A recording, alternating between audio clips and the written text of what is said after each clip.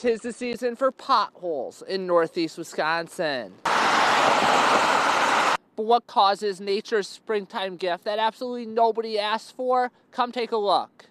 Snow, sleet, rain, mix them together, and you are in for a bumpy ride. This is probably the worst conditions we could imagine for development of potholes. It is pothole season, something Green Bay Public Works Department officials prepare for each year. Pothole development typically occurs during times of what we call freeze thaw cycles. So the worst time of the year for a pothole is when the temperature keeps going above and below 32 degrees.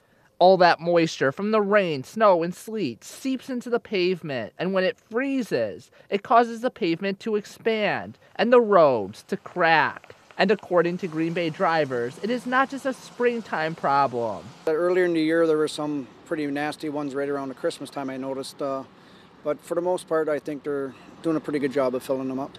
Green Bay Public Works Department officials say they address the largest potholes that can do the most damage to vehicles first. Drier weather is preferred in the pothole filling game. So the underlying pavement, the base pavement, um, we need to create that bond. Otherwise, you're putting essentially an oily substance on top of asphalt or concrete.